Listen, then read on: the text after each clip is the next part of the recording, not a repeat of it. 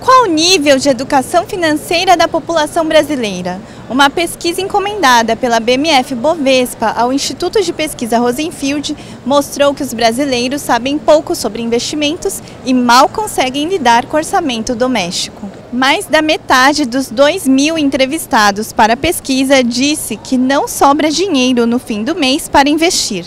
Dos que investem, a maior parte, 44,4%, aplica na poupança. Já 37% deixam o dinheiro na conta corrente. Em terceiro lugar, aparecem os imóveis com 3,7%, seguidos pelos títulos de capitalização, com 3,3%. No geral, o brasileiro tem o perfil conservador.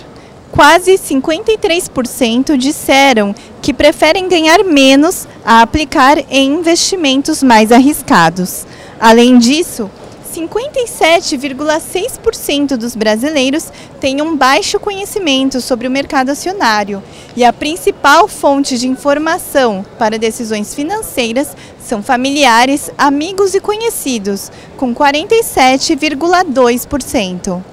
A população brasileira é uma população com uma uh, alta propensão ao conservadorismo dessa maneira. Existe uma certa aversão ao risco. Então a, a, pesquisa mostra que aqueles que aceitam o risco são basicamente aqueles mais escolarizados, aqueles com uma maior renda, mas mesmo entre eles há um certo medo eh, de um investimento mais arriscado, embora possa no futuro produzir um rendimento muito maior. O que, que isso mostra? Que as pessoas têm que conhecer mais o mercado acionário. Você investe?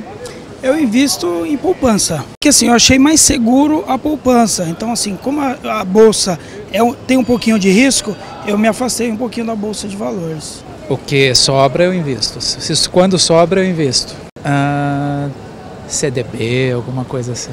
Os jovens são aqueles que podem no futuro produzir uma mudança de mentalidade. Arthur, você investe? Não. E você pensa em investir na bolsa, em alguma coisa poupança? Sim. Ah, não sei, uma empresa boa, mas ainda não penso muito no que investir. Qual que é a visão que você tem de bolsa, de mercado acionário? Hum, ah, é uma coisa boa para o seu futuro, né? Se você investir bem. E qual a sua principal fonte de informação para decisões financeiras? Oi, olha sites,